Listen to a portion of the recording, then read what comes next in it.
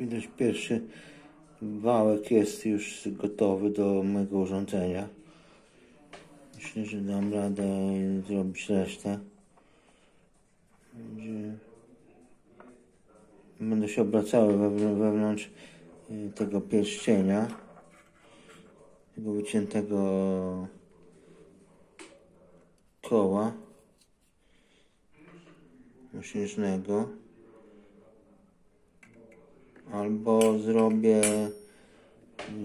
y, z, z bloku aluminiowego dwa takie y, wycięte na frezarce zrobię dwa takie dwa, dwie połówki i złączę to na śruby i myślę, że to będzie działało, tylko że po prostu chodzi o to, żeby to było precyzyjnie wykonane, prawda? Tak wygląda ten wałek. Jedno łożysko trochę za, za luźno jest, ale to mm, z czasem dojdę do, do skillu, że po prostu, że to, że ogarnę to. Myślę, że dam radę to skonstruować i z tego, z tego, z tego wałka, z tego wałka bę- będzie jeszcze kilka takich e, mniejszych wałeczków, takich jak to. To. Może jeszcze z zewnątrz trzeba by to oszlifować troszeczkę. Nie jest to za ładnie nie wygląda. Na tej frezarce na tej frezarce to po- postaram się zrobić przy użyciu tego zacisku trójzębnego samocentrującego.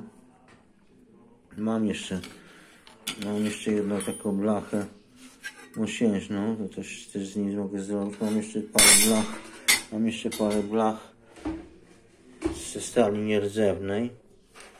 Dwie tego typu, ale to za twarde, żeby obrabiać chyba na tej frezarce, nie wiem. Mm, nie będę tego na razie obrabiał jeszcze. Tak wygląda mój warsztat mniej więcej. To będzie to będzie ten wałek będzie się obracał na osi. Tutaj tako, tako będzie zamontowana ta oś. To, będzie- to ta oś będzie dobra. Podzielę to na kilka kawałków, tą oś z tego typu, z, z napędu dyskietek, to jest, czy z kompakt dysków. Będzie na tym to się obracało na osi. Jeszcze tutaj chyba trzeba w środku, bo te, to jest tak zrobione, że, że jest yy, z wierzchu tylko jest sfazowane, a w środku jest jeszcze otwór przelotowy. To jest po prostu na zasadzie, że tam musi jeszcze, jeszcze być trochę szerzej tam zrobione troszeczkę. I tak to wygląda.